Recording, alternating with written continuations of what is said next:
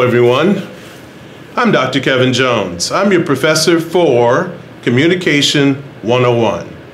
Today, I'm going to do a short introduction speech. What I'm going to do is tell you a little bit about myself and also going to tell you a little bit about the class.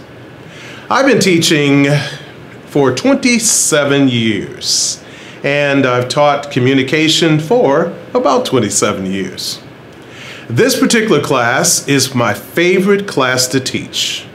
Communication 101, where we learn how to deliver effective speeches.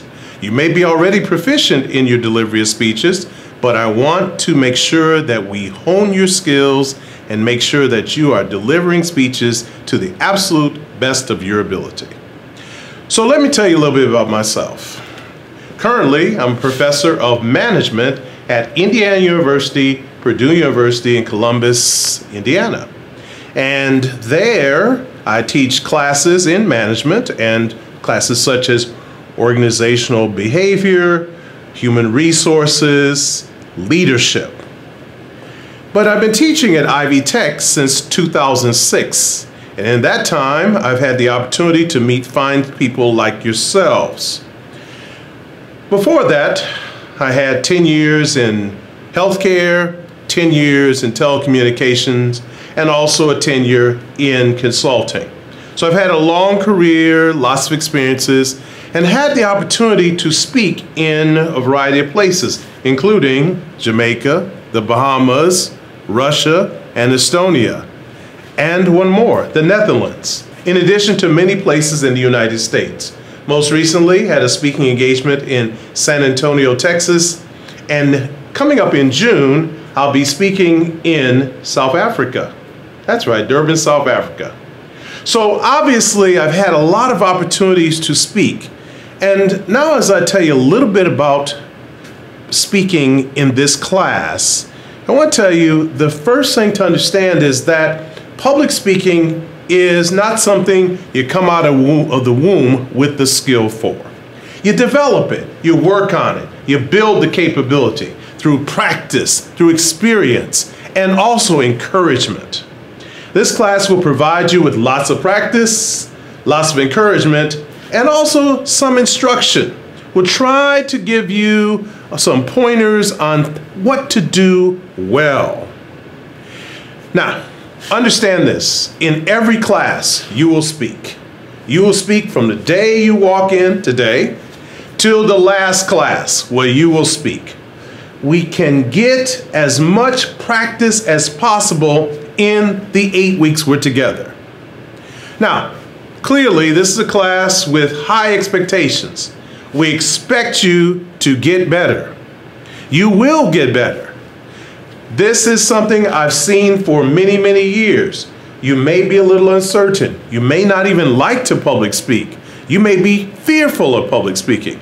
But my goal is to show you that it's an enjoyable thing to do. It's something that gives you an opportunity to express your voice, to give your point of view, to educate an audience, to share your thoughts. And you know what? Maybe one day you will need to lead. And if you lead, you surely will have to speak. Public speaking also is something that's essential when you are seeking a job. It's essential if you are in management. It is essential for you to be able to express what is in your mind, in your heart, and maybe sometimes even in your soul. So we will practice. We will deliver speeches. We will hone your skills. We will make sure that when you walk out of here, you'll be better than you started. I will say that based upon much experience that it's a rich opportunity for you to develop a usable skill for yourself and for your career. Now, a few things to expect. First thing is, this is a class of encouragement. So when you are in this class, come with the attitude of encouraging others. We'll give feedback to each other, but we'll only give positive feedback. That's from you. I may give a little corrective feedback from time to time. But for you, your role is to give only positive feedback. This is important because I've learned over the years that people develop much better when they are encouraged as opposed to discouraged. We receive so many negative messages over the years about public speaking. This is an eight week period where you're going to receive lots of good positive feedback. The other things, some expectations. We start on time and end on time. So we expect you to get here and stay the whole time. It's really appropriate for you to stay and hear others. Don't leave after you speak. That's not fair. Everybody deserves an audience. You stay, hear what other people have to say, just like they will stay and hear what you have to say. If you must be late, make sure you call ahead. If you must be absent, make sure you call ahead. But with an eight week class, it's very difficult to miss more than one class. If you miss two classes, it surely will affect your grade. If you miss three classes, you may be receiving an adverse grade. So plan to attend all eight weeks if at all possible. Also, we are very cordial to each other. When people are speaking, no one should exit or enter. When a person is here, except for me, you can come and go when I'm speaking anytime you like. But when one of your classmates is speaking, make sure that you stay where you are until they complete their speech. I'll tell you more about that later, why that's very important. With regard to presentations, you also want to make sure that you're appropriately dressed. Now, understand that we're not requiring you to quote unquote dress professionally except for two speeches. When you are doing your informative speech and your persuasive speech, you are expected to dress as if you are interviewing for a job. And we're not just talking about any job, we're talking about interviewing for a job that pays significant amounts of money for you. This may not be the job that you have now. It may not be the job you're going to get next. It may be the job that you get three or four years from now, but it's the job that you do not want your appearance to be a distraction for the interviewers. We'll also talk more about that. So for two speeches, you'll need to dress up. Otherwise, you can pretty much wear what you want, but again, wear what's appropriate for your message. Don't let what you wear detract from your message. Now, one other thing I want to say, and I'll use a demonstration for you on this one cell phones.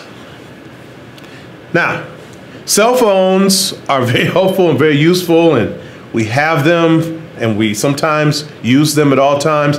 When people are speaking, it's not the right thing to do to be texting or to be looking at messages. When people are speaking, and that includes me, we expect you to have your phone either off or away so that you're not tempted to pay attention to it. Now, I know some people say, well, what if I have an emergency? Well, when I'm speaking, you can check it from time to time. But when others are speaking, your classmates, there are no cell phones out. There are no talking on cell phones. Obviously, when people are speaking, make sure you have your ringer off or at least on vibrate. But if you have a vibrate that's really loud, please turn your phone off. Other things that we expect, and it's uh, not too much to expect in my opinion, it is that you come prepared to speak. Since this is a public speaking class, be ready to speak. Be thinking what I'm going to talk about. Be ready to share something with the audience, which means do the readings. Possibly look at some of the videotapes that you see in Blackboard. So when you come up here, you have the stage. You are in charge. So, with that in mind, I'm going to close this with a short video to show you. And in that video, you will see an example of a bad public speech, and you'll see an example of a good public speech. In closing, this is going to be a great class because you're in it. And because you're in it, I will learn something new, you will learn something new, everyone in this class will learn something new because of you being in this class. I look forward to it. So let's take a look at the videos.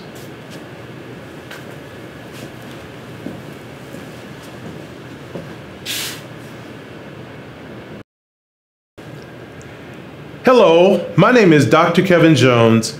My topic today is your success. Success starts with a belief that you will be successful.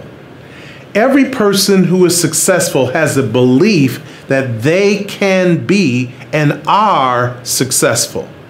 It starts with confidence confidence in the outcome, confidence that what you do will be good you have to start with that confidence in everything you do.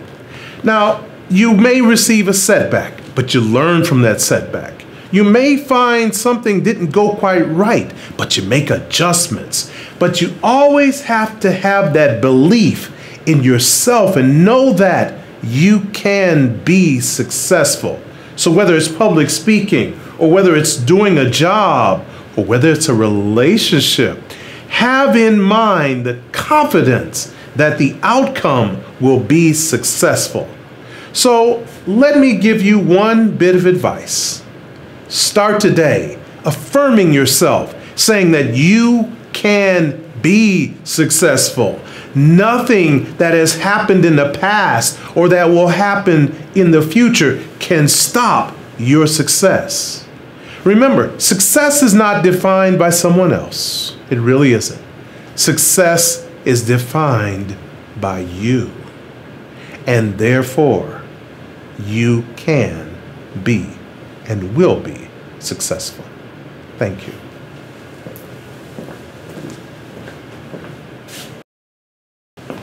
Yeah, well, oh yeah.